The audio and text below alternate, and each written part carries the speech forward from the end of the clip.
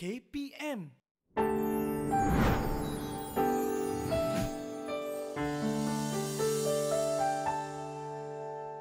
Hai, Assalamualaikum. Apa khabar semua adik-adik? Bersama saya Cikgu Nora hari ini.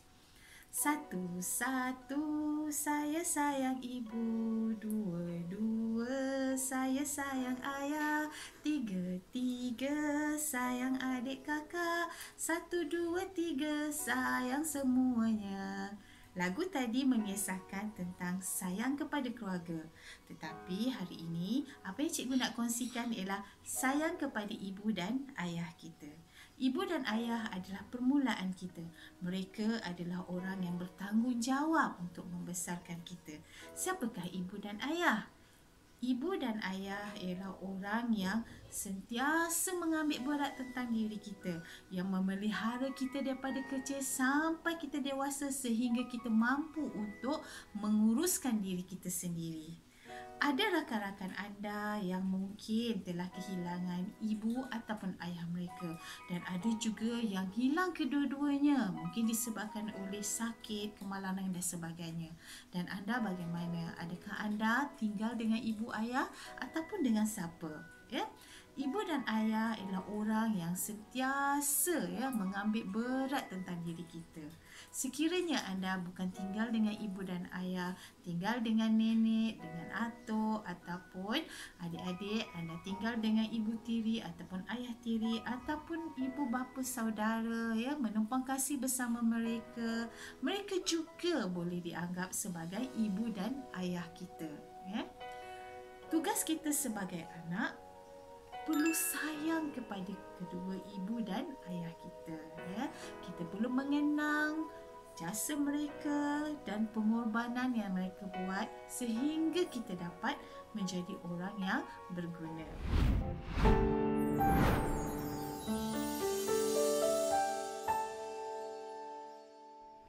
itu adalah salah satu cara untuk anda menunjukkan rasa kasih sayang anda anda tak perlu mengeluarkan belanja yang banyak untuk menunjukkan rasa hormat tersebut. Bila ibu dan ayah bercakap dengan anda, jawablah dengan tutur kata yang lembut. Bila ibu bapa memarahi anda, anda hanya perlu berdiam sahaja. Jangan menjawab. Jangan marah mereka kerana Ibu dan ayah memang sentiasa akan menasihati kita daripada kita kecil sampailah kita dewasa. Selagi kita ada ibu dan ayah, selagi itu mereka akan menasihati kita. Dan kalau orang tak ada dan ibu dan ayah mereka, kita akan dengar lagi kata-kata nasihat tersebut. Adik-adik, dengan mengatakan ah sahaja kepada ibu dan ayah juga satu dosa bagi Islam. Saya percaya untuk agama lain juga ya menegah daripada kita mengeluarkan perkataan-perkataan yang boleh menyekat ataupun menyakitkan hati kedua ibu bapa kita. Anda jangan menengking mereka ya. Tutur kata anda perlu dijaga. Cakaplah benda-benda yang baik. Sentiasa berikan senyuman. Itulah cara untuk kita menghormati kedua ibu bapa kita. kita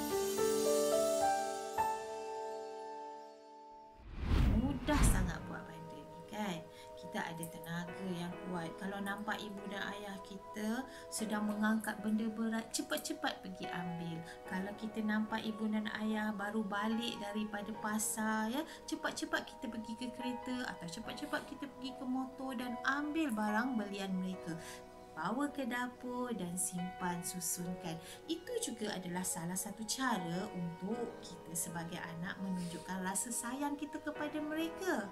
Ha, apa lagi yang boleh kita buat di rumah yang kita perlu bantu ibu kita di rumah tanpa disuruh. Contohnya bangun tidur kemaskan katil anda sendiri kemaskan bilik anda sendiri basuh kain. Ya, sebab sekarang ni basuh kain mungkin pakai mesin tak susah dah. Masukkan kain dekat dalam mesin. Itu juga cara untuk kita membantu uh, ibu bapa kita tanpa diminta ya. Kemaskan rumah ya. Mop lantai basuh pinggan selepas kita kita makan.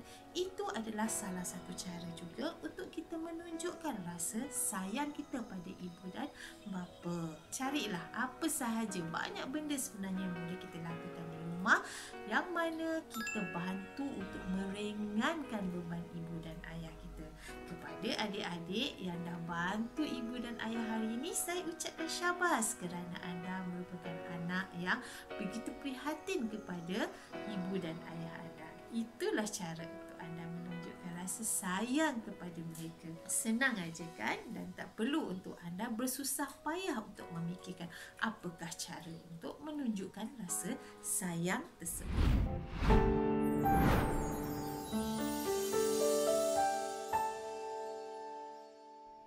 Minta izin kepada ibu atau ayah ketika anda ingin melakukan sesuatu.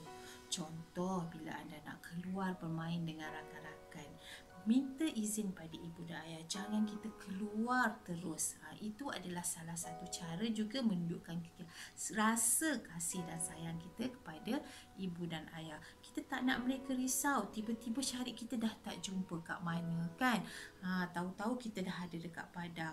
Ibu dan ayah orang yang selalunya akan paling risau kalau dia tak nampak anak dia berada di hadapan mata dia. Ha, jadi sekiranya anda ingin keluar daripada rumah ataupun anda nak pergi ke sekolah contohnya ya ha, macam sekarang ni memanglah kita dalam tempoh belajar di rumah. Tetapi kalau nak keluar Contohnya menantilah masa tahun-tahun yang akan datang kan ah, anda nak keluar pergi ke sekolah sebelum pergi ke sekolah tu jumpa ibu dan jumpa ayah salam dulu mereka dan dalam masa yang sama minta izin dan minta untuk mereka doakan anda sentiasa selamat dalam perjalanan. Itu adalah salah satu cara kita menunjukkan rasa sayang kita kepada ibu dan ayah kita. Itu adalah salah satu cara untuk adik-adik menunjukkan rasa sayang anda kepada ibu dan ayah. Anda tidak mahu mereka kerisauan mencari anda di mana ataupun tak tahu kat mana anda. Ya, Ibu dan ayah adalah orang yang sentiasa akan menjaga kita ya walaupun kita tidak berada di hadapan mereka akan sentiasa ingatkan kita. Jadi kita jangan lupa pengorbanan mereka ini. Jangan kita anggap benda itu kecil sahaja. Dengan bersalam meminta izin melapangkan dada mereka untuk melepaskan kita keluar daripada rumah. Didik TV KPM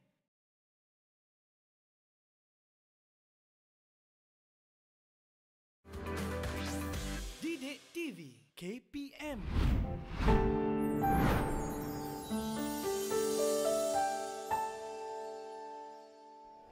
Sekarang ini saya melihat ya anak-anak leka dengan telefon bimbit mereka.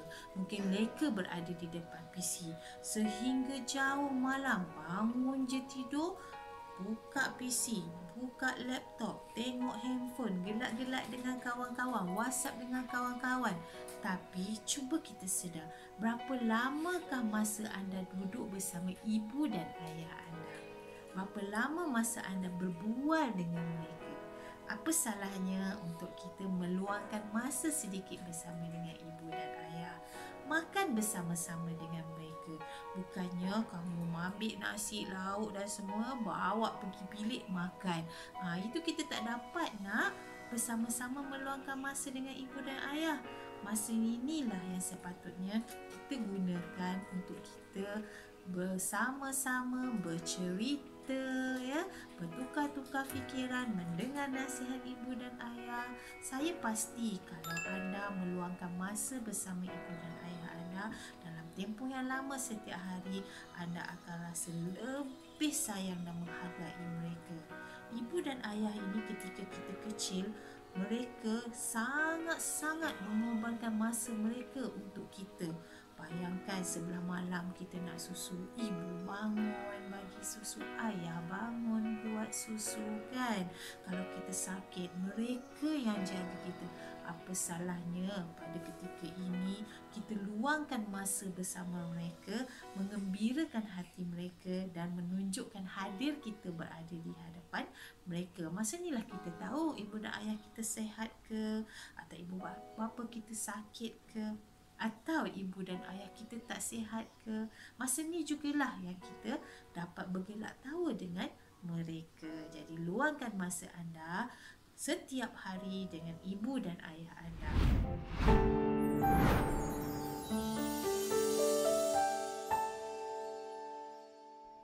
tunjukkan kepribadian yang mulia Ha, juga adalah salah satu cara kita menunjukkan rasa kasih dan sayang kita pada ibu dan ayah.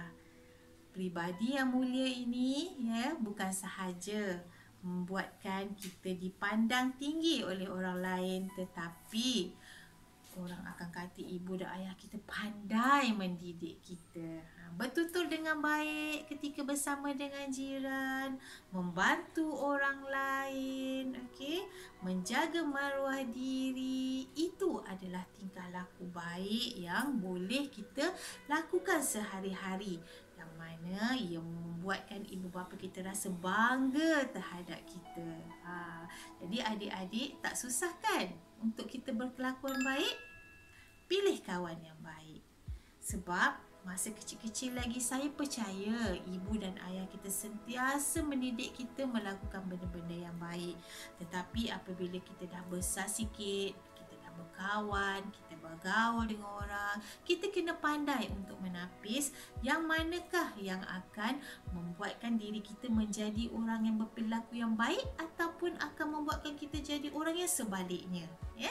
Ha, jadi tingkah laku yang baik ini jika kita amalkan menjadi kebanggaan bagi kedua ibu bapa kita dalam masa yang sama mereka akan senang hati sayang dan bangga dengan kita itulah cara untuk kita menunjukkan rasa kasih dan sayang kita kepada mereka seterusnya ialah menjaga maruah diri ha, menjaga maruah diri ini kalau kita jaga diri kita umpama kita menjaga juga maruah ibu bapa kita jaga pergaulan kita. Ha, jaga batas pergaulan antara lelaki dan perempuan dalam masa yang sama. Jaga juga cara berpakaian sebab berpakaian ini adalah lambang kepada diri kita. Jangan pakai yang ketat-ketat, jangan pakai yang seksi-seksi. Pakailah pakaian yang menutup aurat. Pakailah pakaian yang tidak akan dijadikan umpatan oleh orang lain. Itu adalah cara kita menjaga maruah diri kita.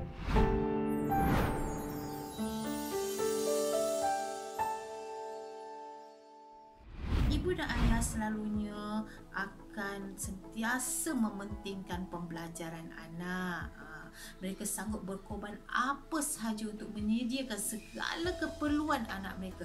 Sebab pada fikiran ibu dan ayah jika anak-anak ini berjaya dalam pelajaran mereka akan senang hidup di kemudian hari. Ibu dan ayah kita berkorban masa berkorban wang ringgit untuk membeli segala keperluan kita oleh itu anak-anak, rasa tanggungjawab anda untuk membalas segala budi baik mereka ini ialah dengan belajar sendiri tanpa disuruh. Sentiasa mengingati jadual-jadual waktu belajar anda. Kalau perlu pergi ke sekolah, pergi ke sekolah. Kalau perlu untuk belajar secara online di rumah, anda perlu menjadualkan diri anda. Anda perlu konsisten dalam belajar. Ha kalaulah setiap hari ibu terpaksa kejut anda, suruh bangun pergi sekolah dan terpaksa bebel kepada anda, suruh anda duduk dalam kelas, ia adalah satu perkara yang tidak menunjukkan rasa kita hormat ataupun sayang kepada ibu bapa kita.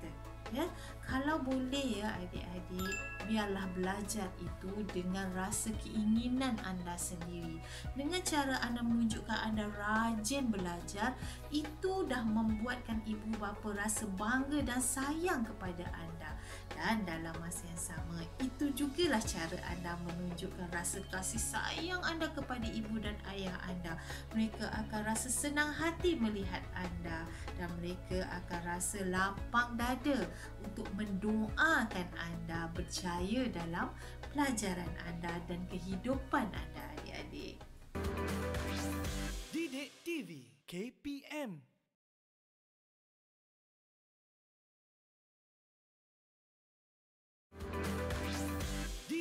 TV KPM.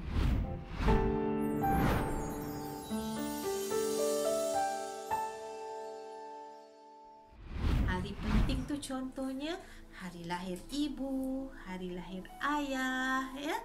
Cuba anda raikan. Tapi saya tak ada duit nak beli hadiah. Macam mana? Tak semestinya kita meraihkan sesuatu itu dengan hadiah.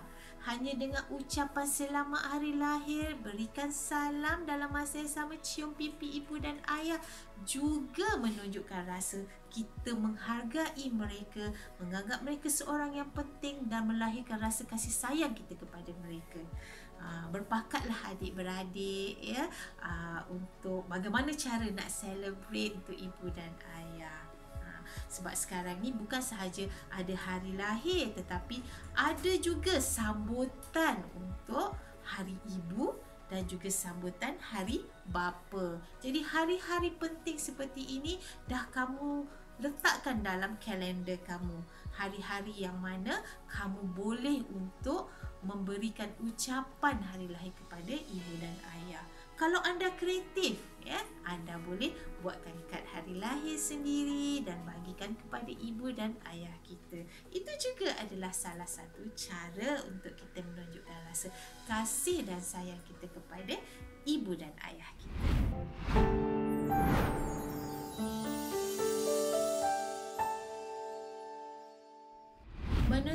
aib dan tidak menceritakan kelemahan ibu bapa kita kepada orang lain juga adalah salah satu cara untuk kita menunjukkan rasa kasih sayang kita kepada mereka. Memang ibu bapa kita adalah orang biasa macam kita juga. Ada melaksanakan kesalahan, ada juga kadang-kadang terlanjur kata dalam melakukan sesuatu ya sehingga anda rasa macam tidak selesa ya lebih baik untuk kita tidak berkongsikan perkara ini kepada orang lain. Yang mana bila kita ceritakan benda itu boleh menjatuhkan air muka ibu dan bapa kita. Jaga aib ibu bapa kita. Itu juga adalah salah satu cara untuk kita menunjukkan rasa kasih dan sayang kita kepada ibu dan ayah kita.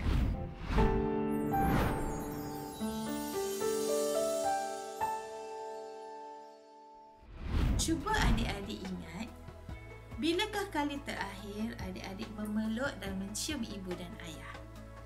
Ha, tidak semestinya kita kena tunggu pada hari hari-hari raya, contohnya hari perayaan baru kita nak peluk, nak cium, nak minta maaf pada ibu dan ayah. Setiap hari pun boleh kita lakukan benda yang sama. Setiap harilah salam ibu ayah. Setiap harilah untuk anda cium ibu dan ayah anda. Masa yang sama setiap hari juga boleh untuk memeluk ibu dan ayah anda menunjukkan rasa kasih dan sayang anda kepada mereka.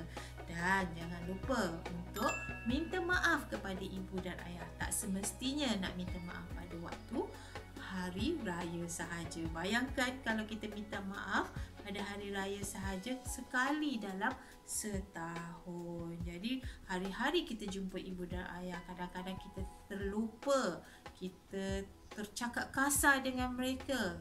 Ha, jadi tak salah untuk kita mohon maaf setiap hari kepada mereka. Kita dah sampai ke penghujung rancangan. Amalkan perkara yang baik dan tinggalkan perkara yang tidak baik. Ada banyak cara untuk adik-adik semua menunjukkan rasa kasih sayang anda kepada ibu dan ayah. Saya percaya anda juga ada cara anda sendiri dan apa yang saya bincangkan tadi merupakan nilai tambah yang boleh anda laksanakan. Anda boleh melakukan banyak benda untuk anda menunjukkan rasa sayang anda kepada ibu dan ayah. Ibu dan ayah akan rasa bangga dengan diri anda dan saya pasti mereka akan mendoakan yang baik-baik untuk diri anda agar adik-adik anda dapat menjalani kehidupan dengan begitu baik sekali dan berjaya sehingga anda dewasa. Itu saja daripada saya. Jumpa lagi. Assalamualaikum warahmatullahi wabarakatuh.